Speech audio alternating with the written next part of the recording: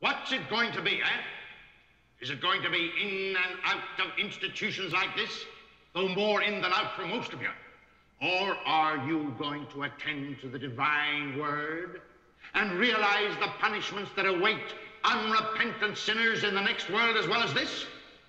A lot of idiots you are, selling your birthright for a saucer of cold porridge, the thrill of theft, of violence, the urge to live easy. Well, I ask you, what is it worth when we have undeniable proof, yes, incontrovertible evidence that hell exists? I know, I know, my friends, I have been informed in visions that there is a place darker than any prison, hotter than any flame of human fire where souls of unrepentant criminal sinners like yourselves. don't you laugh, damn you, don't you laugh. I say, like yourselves, scream in endless and unendurable agony.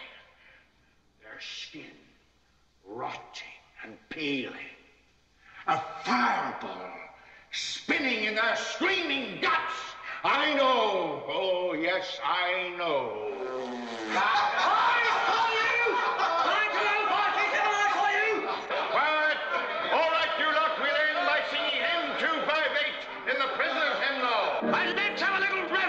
lot,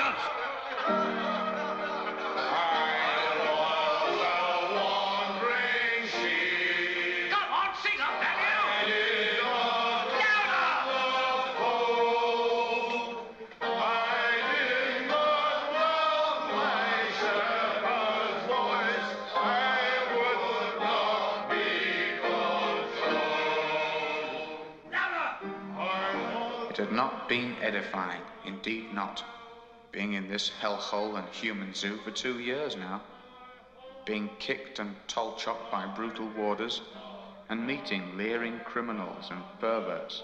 Ready to dribble all over a luscious young malchick like your storyteller.